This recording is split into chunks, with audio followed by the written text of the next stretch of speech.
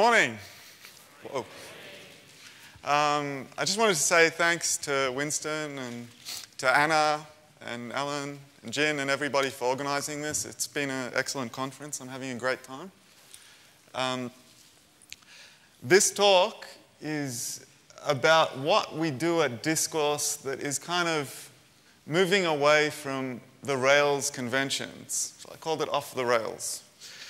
Um, it is also, there are also some crazy things here, so the name is pretty apt. Um, a little bit about myself.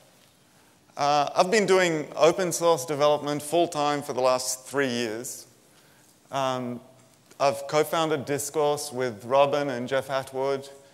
Uh, I worked remote now for the last six or seven years. I haven't gone into an office. Uh, I've been, I'm fascinated with performance problems and squeezing the extra little last millisecond out of the app. Um, in a previous life, I worked at Stack Overflow, and my Twitter account is Sam Saffron.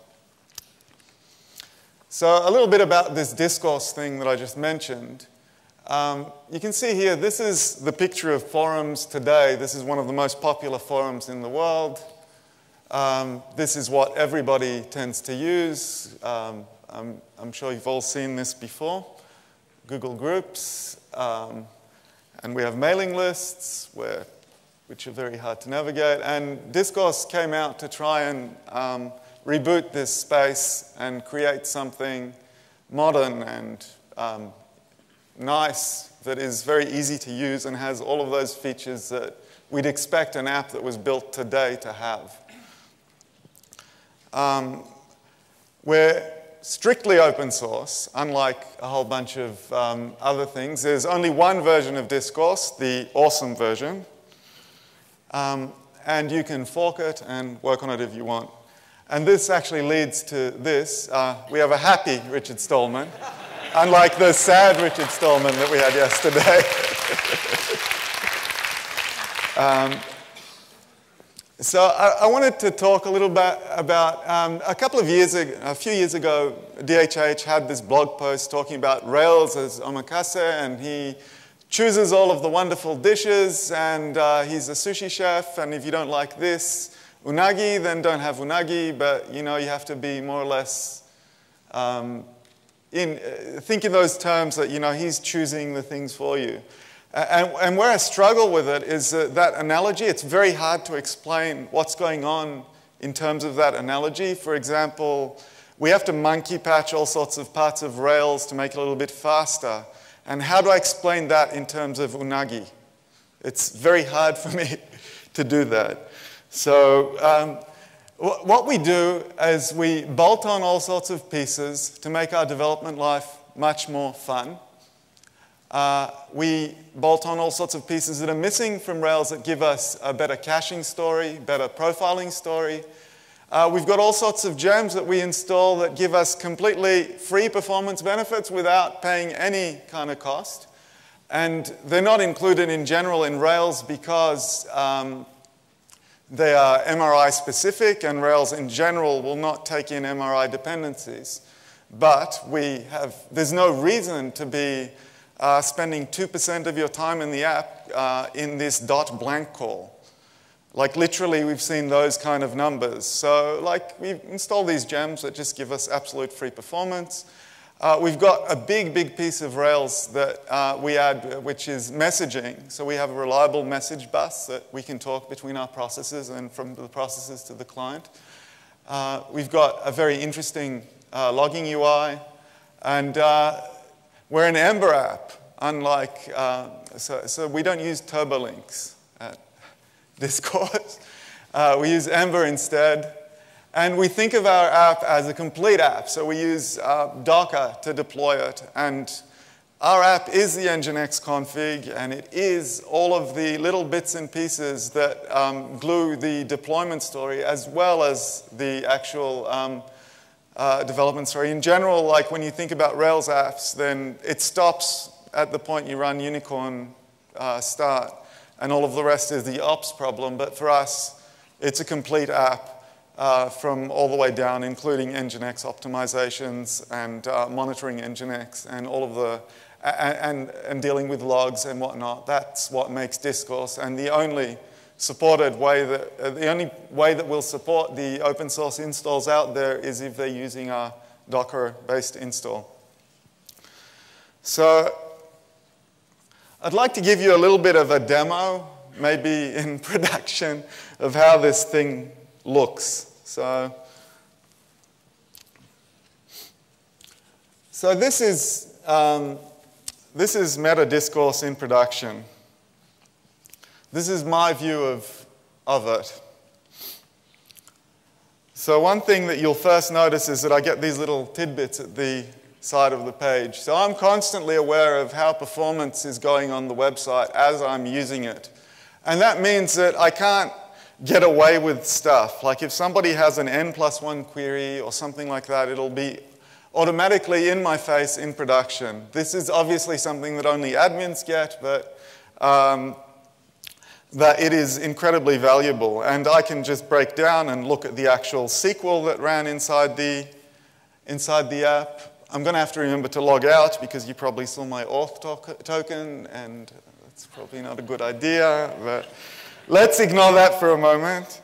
Um, so yeah, with the SQL, you can actually get the back traces of each SQL statement. So debugging of why, why is somebody running this SQL is very easy. Um, and you get timing for each SQL statement as well. Um, and this is um, the RackMini Profiler gem. Uh, the RackMini Profiler gem comes with like the uh, Ninja switch, which is putting question mark pp help at the end of it. And that's the ninja switch of all of the magical stuff that you can do with it. So, for example, if I want to see a flame graph, this is all in production now, by the way, just running on our meta instance. I want to see a flame graph of this page. Um, so I'll run this thing. And then I can see these are back traces uh, that are side by side of um, in, in, in along uh, across the time, timeline. So the little snippets of what is happening in the app. And I can zoom in and see, that, uh, see where various stuff is running. I can see where Active Record is spending its time. This, for example, would be where we're ex executing some SQL, and this would be Active Record overhead before the execution of the SQL. So I, I can look and zoom in and get good analysis of what's going on. Inside as well, like it's interesting. Um,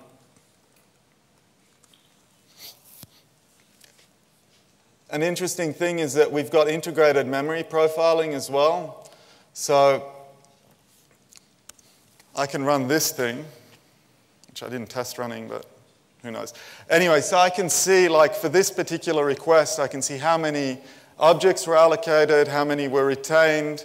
I can get a breakdown of where they are. I can even see the locations of where certain memory was allocated. So if uh, output safety caused like 387K of um, allocation and so on, and I can get the actual line where everything is happening and debug into it. Um, so this is a nice big detailed report. I can see which, which types of uh, objects. And um, and, I can, and I'll go through um, Memory Profiler in a bit more.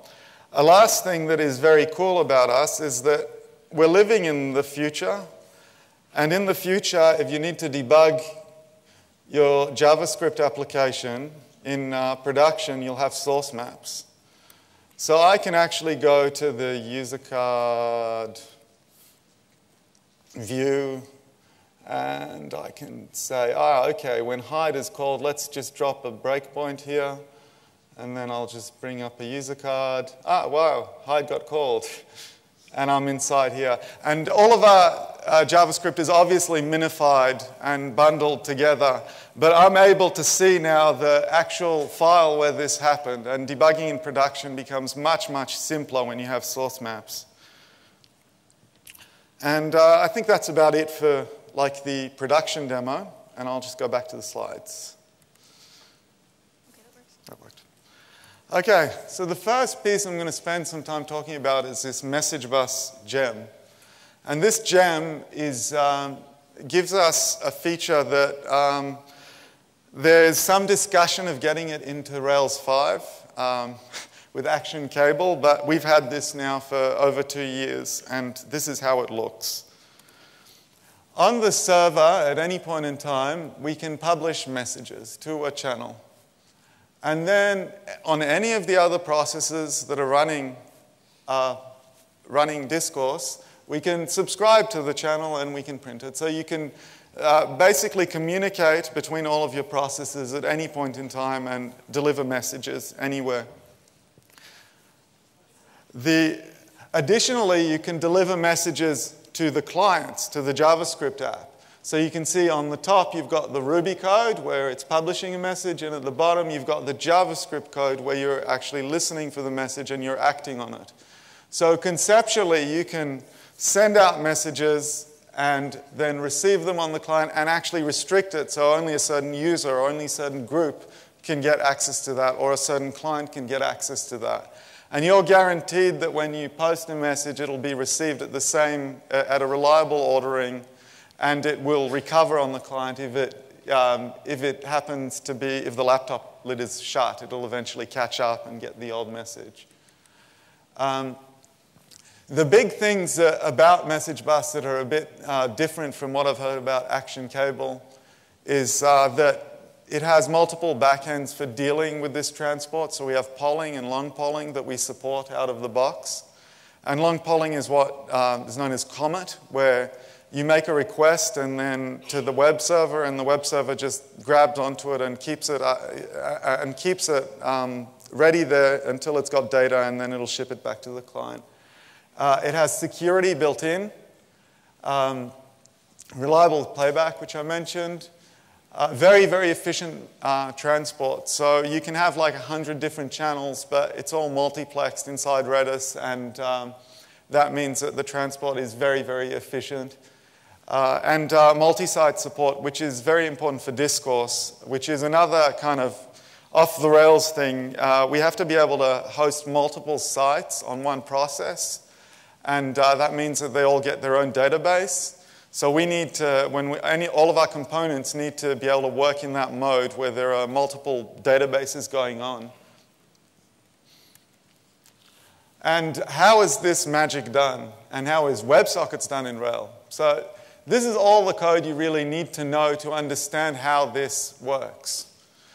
So a feature that was added to Rack a few years ago is something called Rack Hijack. This is supported by every um, uh, big web application server that's out there. So Unicorn has it, Puma has this, and uh, Passenger has this. Thin does not have this because Thin did their own thing a few years earlier and they haven't moved to this thing. Um, but Message Bus also supports Thin. Um, so basically what this little code example doing is a tiny rack app.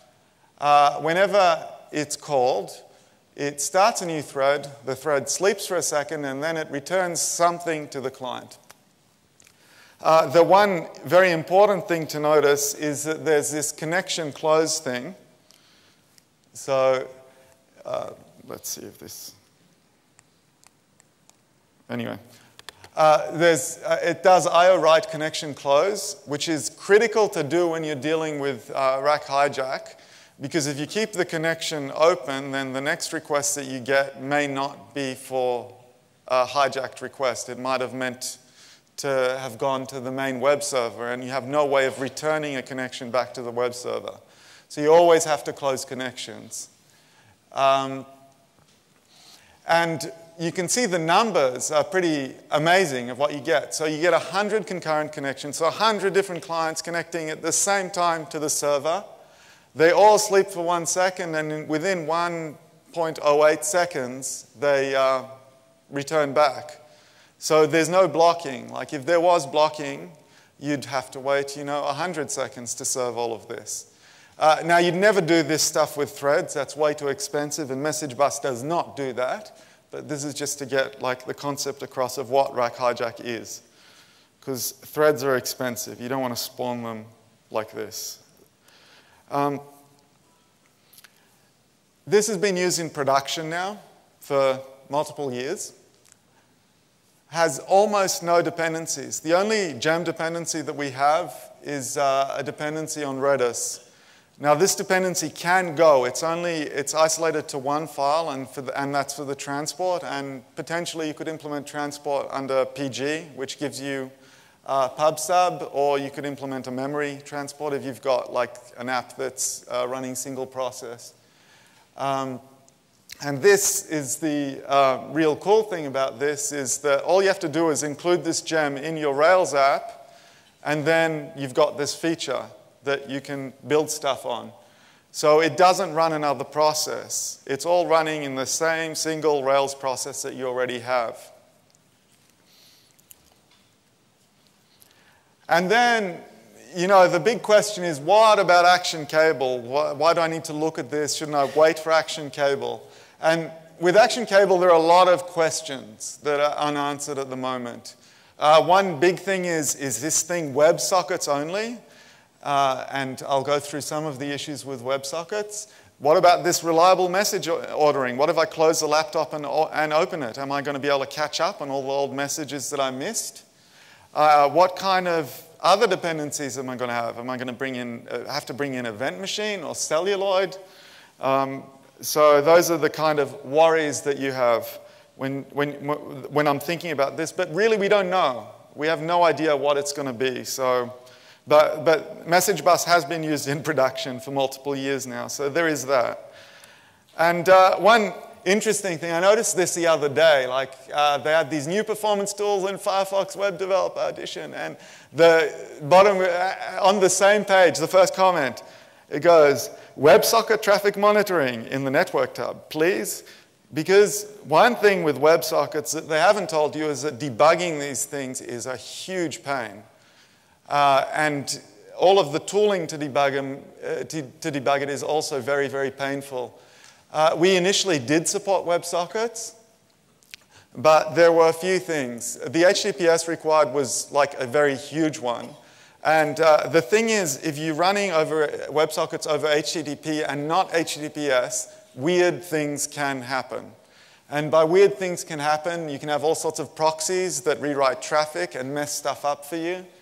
Um, for example, in Australia, uh, Telstra Network decided that they don't like WebSockets, but they like it enough to allow you to connect, but then they'll just store all the data.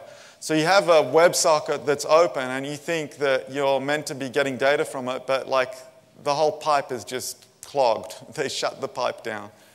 Uh, so you need to be able to recover from all of these kind of situations with WebSockets and fall back anyway. So the idea with Message Bus is that we um, first solve the base problem of having reliable messaging, and then transport is added on top of that, and you can have whatever transport protocol you really want. Um, and it's not starting at WebSockets. I'm not against adding something like WebSockets to Message Bus if we had to, but that is a value add as opposed to the first thing that it does. And WebSockets is just another protocol for transport. Um, now, if you have any questions, one thing that I did notice here that people are a bit shy to ask questions, so I made a site for you to ask questions, which I'll go through at the end of the uh, talk, so you can all go there. And what that is, is a little chat app written on top of Message Bus that um, you can all just go in and chat on, and hopefully it doesn't crash. It's about like 120 lines of code to get uh, kind of a very rudimentary chat app that gives you presence so you can see who's online and allows you to send messages. Um, and you can play around with it. So if you have any questions during the talk, you can go there and just put the question in. At the end of the talk, I'll go to that site and I'll quickly triage it and try and answer any questions you have. Okay, the next gem I'm going to talk about is LRU Redux, which is a piece that I know Aaron wants to put into Rails as well. It's a least recently used cache. Now, one cool thing about Ruby 1.9 is that uh, hash class is actually ordered now. Back in 1.8, when Matz made the hash class, it wasn't ordered. But then it became ordered in 1.9, and we can um, depend on that feature to build a very, very efficient least recently used cache. Um, and that construct becomes incredibly useful. So at the base, what LRU Redux does is gives you this. But the thing about it is that it is ultra efficient. This is as efficient as it gets. The, when I designed this gem, I looked at all of the other gems that were out that were doing the same thing, and the main criteria was to maintain as close to a hash API with the fastest performance. So this will perform probably about, uh, I don't know, 30% better than the best other one out there that is also using pretty good practices. And we keep trying to get, squeeze any extra performance we can out of it. And having this, having a cache, is very cool. So we have a cache, and we also have a TTL cache, so you can have a cache with a time to live. Um, we have thread-safe versions. Uh, and yeah, the semantics mean this is Ruby 1.9 up, but hopefully none of you are using Ruby 1.8. Is anybody using Ruby 1.8? Nobody. This is awesome. Hooray! Hooray for no more Ruby 1.8. Sorry, Matz. We have to move forward. um, so now, so we have these two building blocks. We have LRU Redux and we have the message bus. And what happens if we marry these two things together is one example of what we do at Discourse. You get a dis distributed cache. Now that is fantastic, right? Suddenly, you can set something in a hash in one process and read it out in another process. And it's a cache, so if it fills up, it'll start dropping off the old things. So all of that is done in about 50 lines of code. But once you have these building blocks, all of these other new magic things on top of them can be built. And uh, that is incredibly useful for us to have like a very lightweight cache like this that we can use across processes. Um, and for us, you know, we we have to optimize for adoption of discourse. And to be able to get adoption, we need to be able to install discourse on very, very cheap hardware. so we're constantly looking at ways of squeezing more grunt into less memory which means that we always have to be profiling everything. And that's why that demo, when I put it, that I, that I had at the beginning, showing, you know, these are all of the things that we do, uh, is so interesting. Because, you know, we have to do this to compete with these PHP applications that take nothing. Even though we provide a thousand other features, people still want to be able to install this on a $10 server. So I'll talk about this memory profiler gem that uses a new Ruby 2.1 APIs that Aman and Koichi uh, built into MRI. And uh, give you a little crash course on it. So this is something you all could do right now for your Rails app if you wanted to. There's not a lot of code here. I'll make sure I publish these slides so you can kind of cut and paste this and run this, this yourself. But what this does is it measures how much, uh, how many objects you're allocating on boot of your Rails app and how many are being retained in memory after boot? Um, and the answer is a lot. um, so it breaks stuff into two types of reports. You get an allocation report, which is the amount of objects and memory that was allocated within the block. And uh, that may, may not have a large impact on the process memory, but it has direct impact on performance. The more you're allocating stuff, the more work you're doing, the slower stuff is. That's pretty simple. So if you allocate less stuff, you're going to be doing less work, and then it's going to be faster.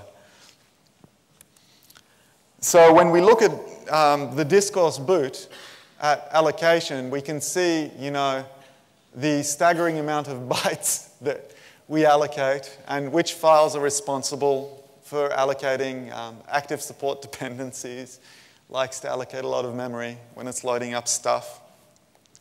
Um, and uh, interesting one there, which is number two, RubyGem specification. I mean, why are we loading, why are we allocating so much memory in specifications? Seems a little bit odd. I mean, do we really need this? And the MIME types gem, which is wonderful at allocating a lot of memory. Um, we can then break it down and look at the strings that actually got allocated. And we can see that we love allocating new lines. So on boot, Discourse will allocate the new line string 40,000 times.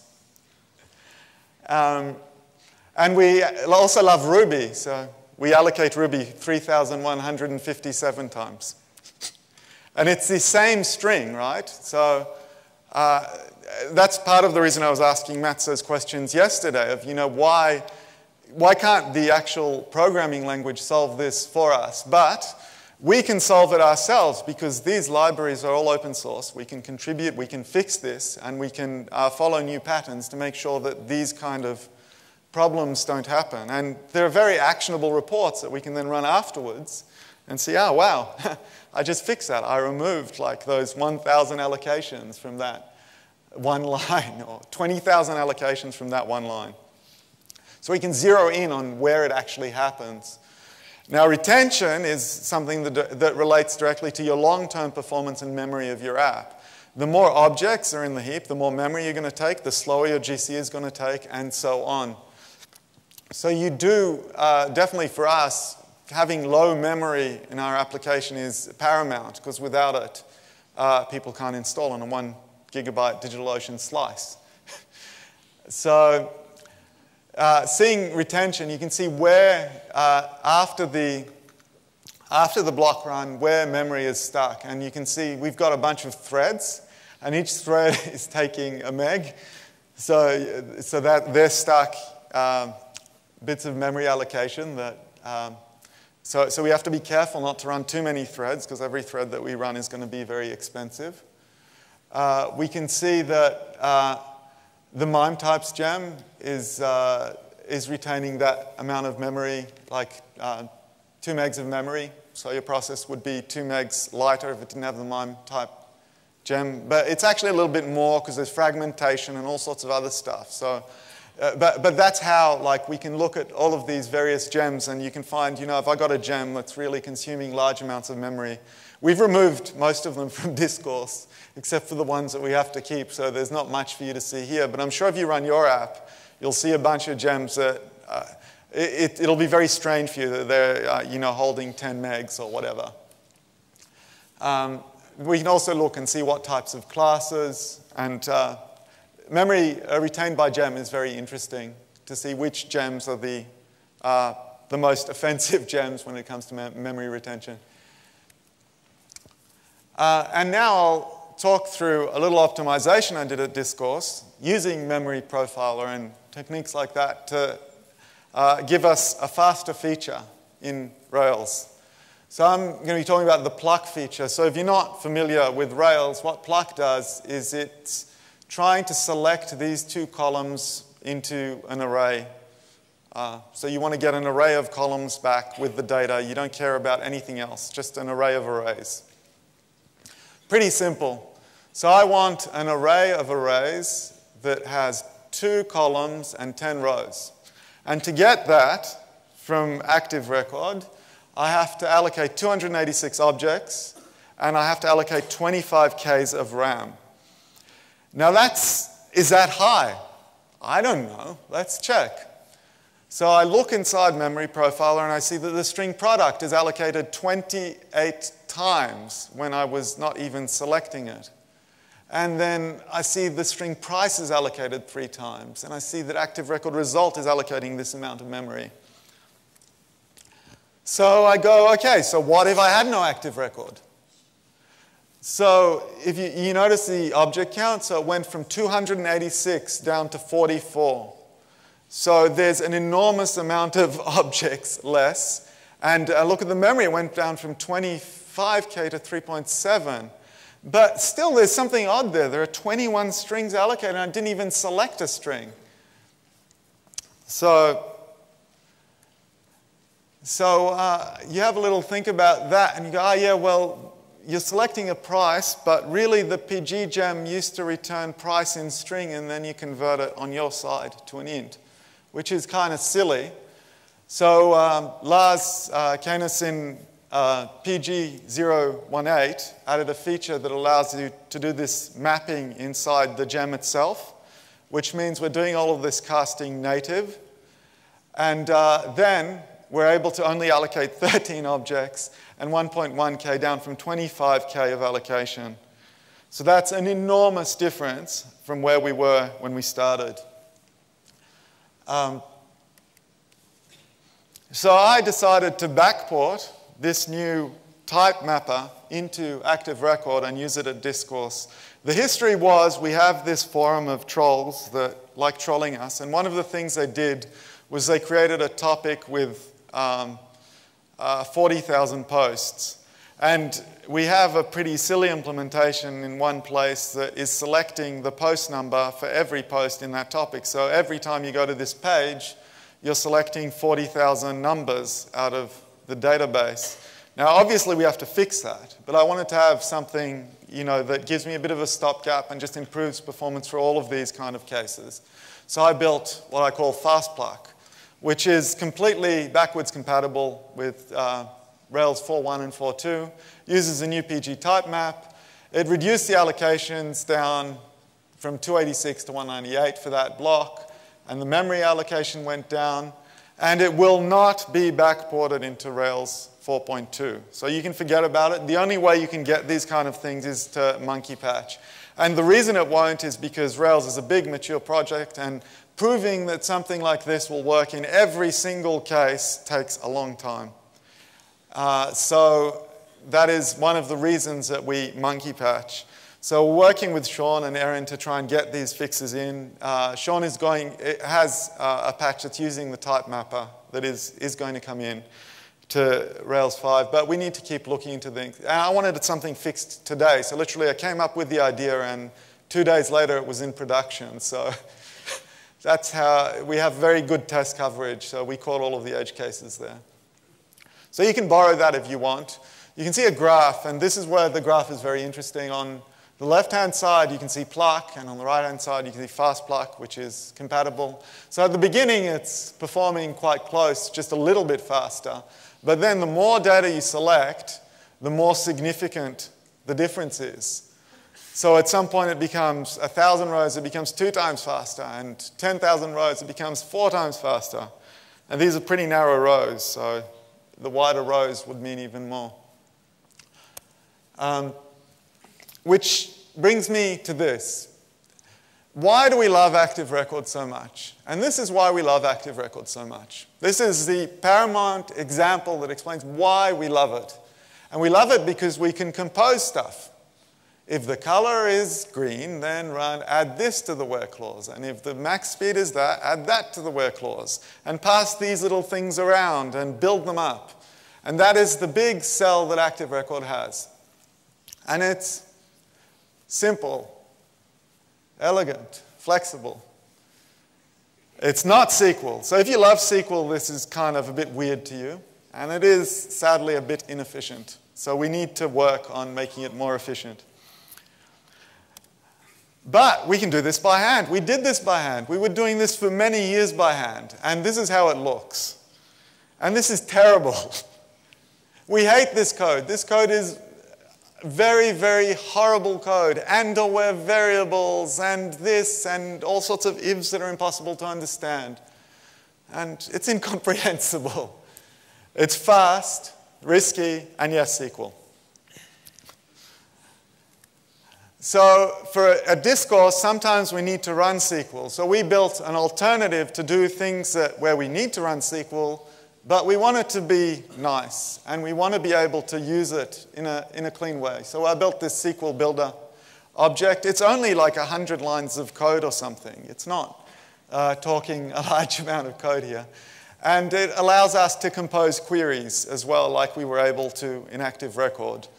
And it allows us to um, get objects out of it, like we can at Active Record. So I can get car objects out of it instead of getting rows that I need to cast and move around and whatnot. And it's yes SQL, it's fast, it's sane, it's tiny, and it's in our source code base. And when I say how fast is this, so I was running a comparison here. This is uh, thousands of operations per second, uh, two columns per row of basic object mapping. So we're just selecting objects out of the database. So when you're selecting one object out of the database, you can see that it's only, you know, 40 or so percent faster. Uh, so there's definitely room to improve it compared to the blue line, which is raw performance. But then active record is like, you know, less than a half the speed of what it would be in raw. At 100 rows, it's starting to get closer to the speed of doing it. And in a 1,000 rows, we're actually beating, um, we're, we're, beating coding it by hand. And the reason we beat coding it by hand is because uh, one demo was doing, using the new type mapper and the other demo wasn't using the type mapper. So because we started using the type mapper, then we're catching up on performance. But the thing there is that it's not really a bug. Uh, that grey line at the bottom at 1,000 rows is the numbers for active record once you're selecting a large amount of data. And I'll tell you a bit of a story. When I was working at Stack Overflow four years ago, um, I, I, we had this problem of um, stuff was slow and we had to optimize performance. And there was this quote from my blog post that is, is, is still relevant today. So I started measuring and I saw that the query is taking 12 milliseconds and the profiling showed the block is taking 90 milliseconds. So there was all this time lost between what SQL was doing and what the app was doing. And this is what we did at Stack Overflow. We built this uh, lightweight object mapper called Dapper, and it had uh, one goal, and it was to be the fastest object mapper that the .NET framework had. And that meant that we measured every single other framework out there, we compared it to every single framework out there, and its goal was to be fastest. And use every single trick that it could come with to be fastest at this particular problem, which is taking SQL queries and giving you back objects. That's it. And it just looks like this. You do connection.query dog and you give it some data and it gives you back a list of dogs, basically. Uh, and I, I, believe that Active Record needs something like this at the bottom to, to do all of the work that it's doing with SQL. At the moment, there is no blessed way of running SQL statements and getting back Active Record objects that is efficient that is isolated from the rest of the jungle that is active record uh, and uh, that is standalone and reusable elsewhere. And if we had what I like to call active SQL, and you had active record built on top of active SQL, you could do stuff like this. You could select 10 car objects very efficiently and then go to active record and save them. So that, that is where, I guess, if I'm looking at the future of where I'd like to see Active Record, I'd like to see it in this kind of state where we take the problem of object mapping and pull it out of Active Record into its own entity and make that really, really, really fast. Okay, I'm going to move on to a different topic altogether, which is job scheduling. I know it's a bit of a segue from all of this Active Record stuff. Uh, but at, at, Discourse, we've got this problem of job scheduling. We've got jobs that need to run daily, hourly, minutely. Uh, we've got uh, jobs that uh, jobs that we just need to queue to happen later, like send an email to this person, send an email to that person. So what we have is a little bit different than what, in general, people would would have in their Rails app. And I think these concepts are very strong. We have three different ways of scheduling jobs. We have regular jobs, we have lightweight jobs, and we have background jobs. So background jobs you all know about, it's Sidekiq, you're all using it. Regular jobs, some of you may use it, and uh, you'd be using stuff like Sidetiq, but we wrote our own, which is ultra efficient and uh, doesn't have a lot of the issues that a lot of these other gems have. Uh, we tried the, the, other gems first, but they just did not answer our problem. So you could look at that and extracting that from Discourse if you're looking for an adventure. Um, and we have lightweight jobs, which very few of you have heard about. And I think that's very cool, so I'll expand a bit on it. So, a lightweight job, we're able to uh, extend Unicorn and tell Unicorn to run something after it's finished with the request.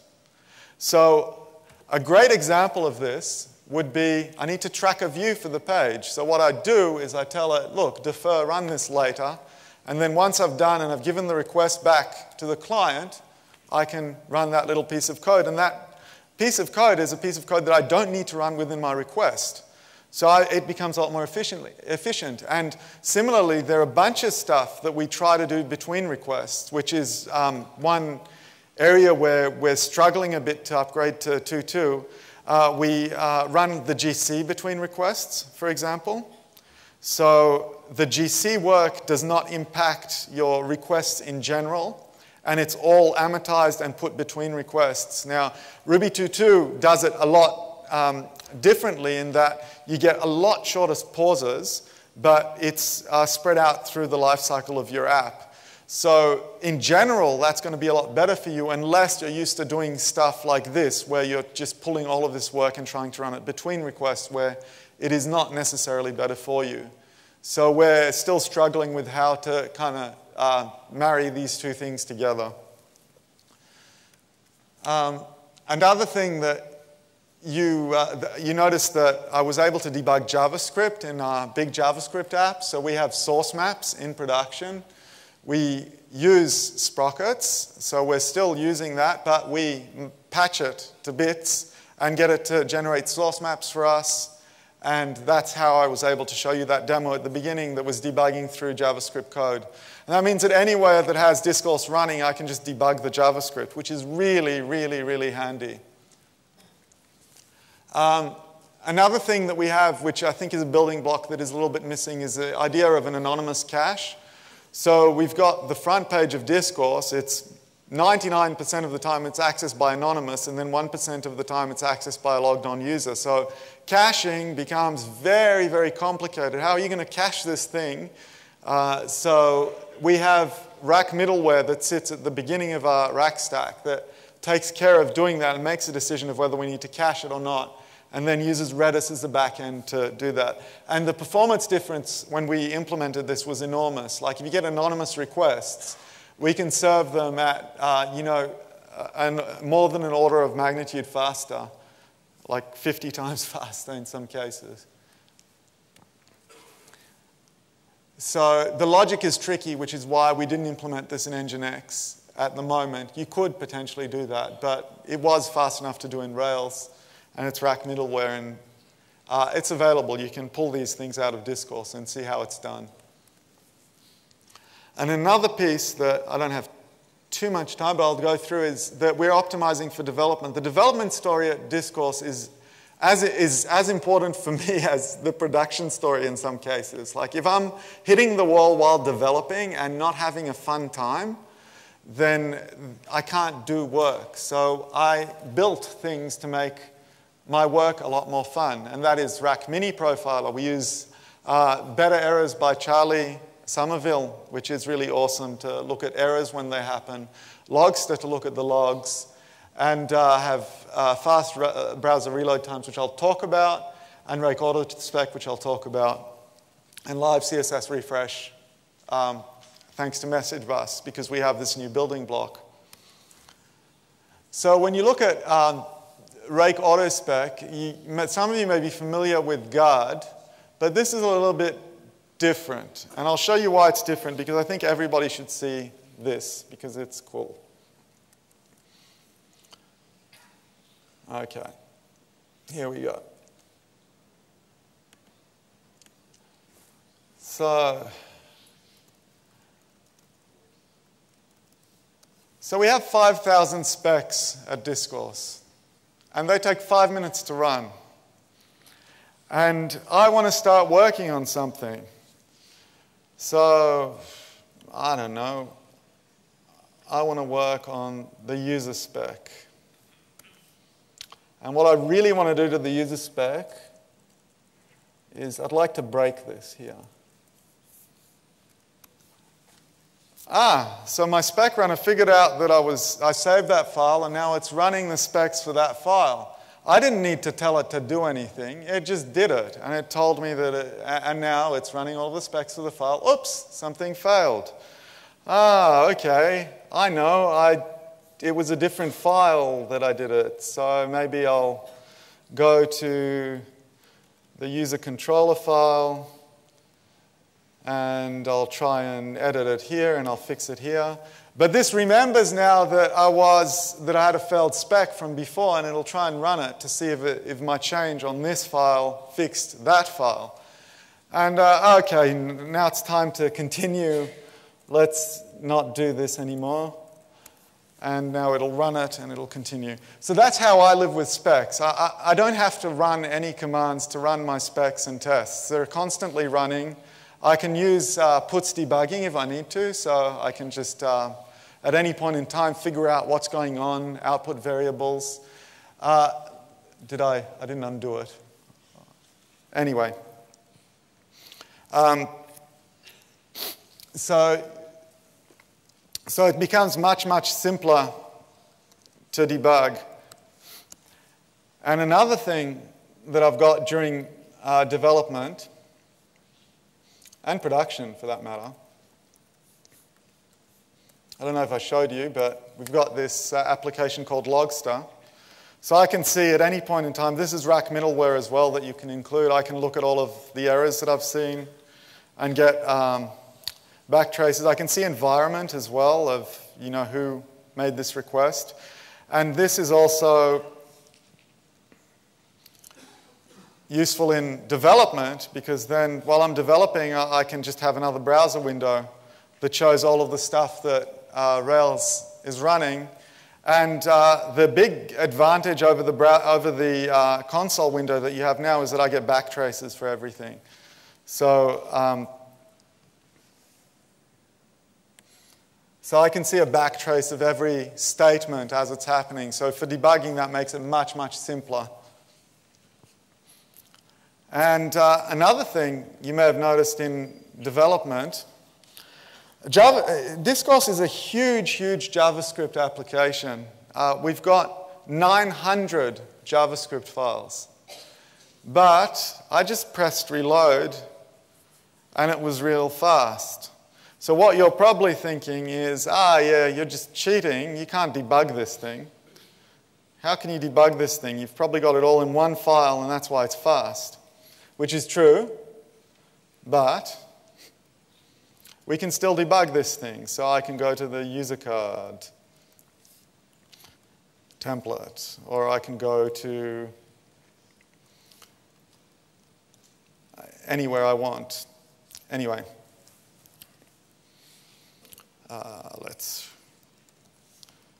I can go to this user action file. So I've got all of these files that I can see, but how, how did we pull this little magic trick? And I'll go through that in a second. Additionally, I've got Mini Profiler in development, so I can see if stuff, uh, why stuff is taking so long. And I'll go back to the presentation and show you some of the tricks here that make, make that happen.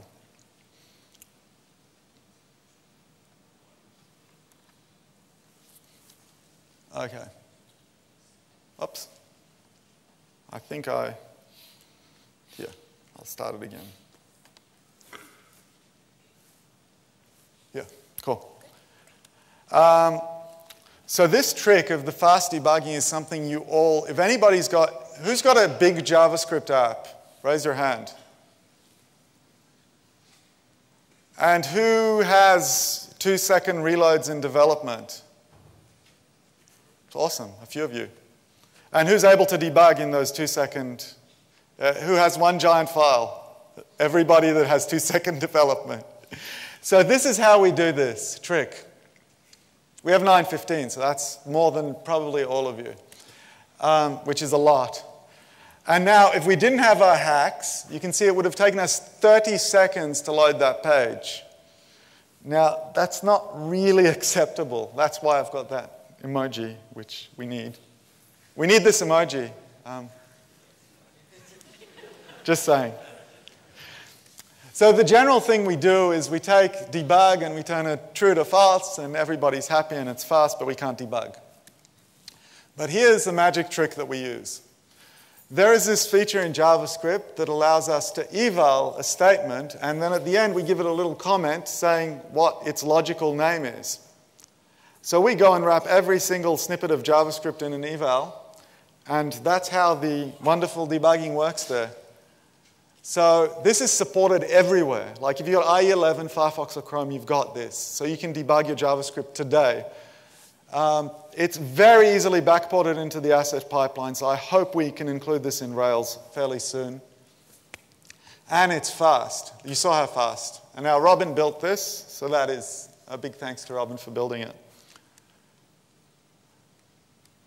So I guess the conclusion here that I wanted to give for the talk is that you, you, you can choose your own adventure. We can make Rails faster, we can make Ruby faster, you can experiment, you can add gems, you can bolt on stuff that will make your application work a lot better.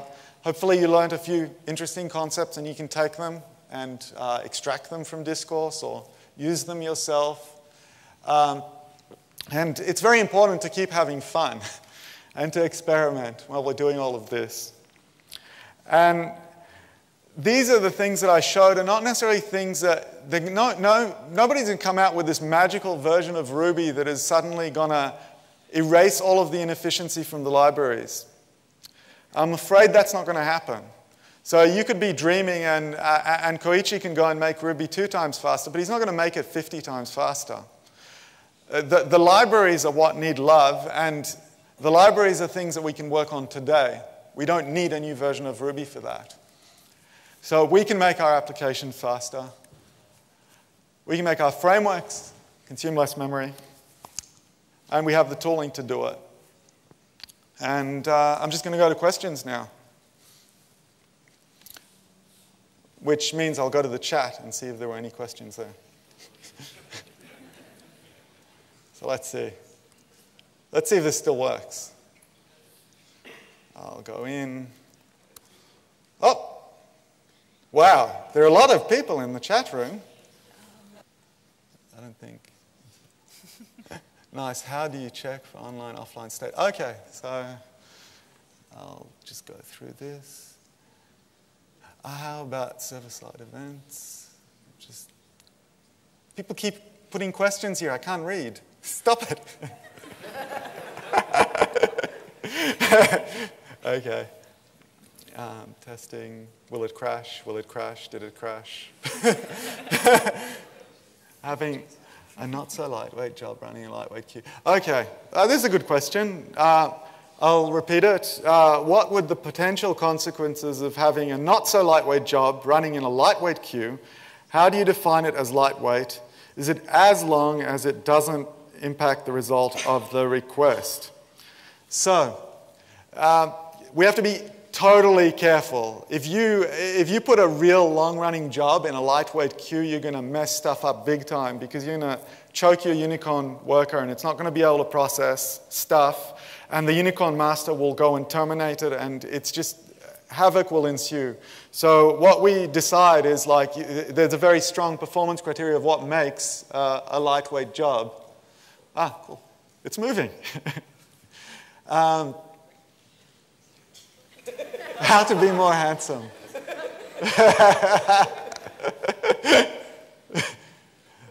Eval is dangerous. Can passenger run lightweight jobs?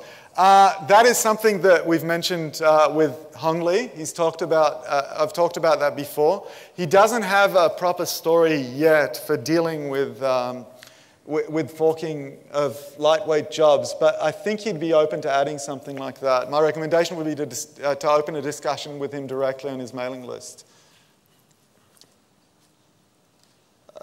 and Max on the. Uh, um, okay, is there any reason to keep Node.js and ROR? Are you looking at Puma instead of Unicorn? Okay, two questions. I'll try and answer these two questions. So do I need to keep Node.js? Um, we actually ship Discourse with Node.js, and we ship it with Node.js because we use Uglify.js using Node.js to, uh, compli- uh, to, to compile our assets because it's a lot faster than doing it via the Ruby process. But I love the, uh, the idea of having one process that can do everything. Because when you have one process that can do everything, it's very, very easy to deploy.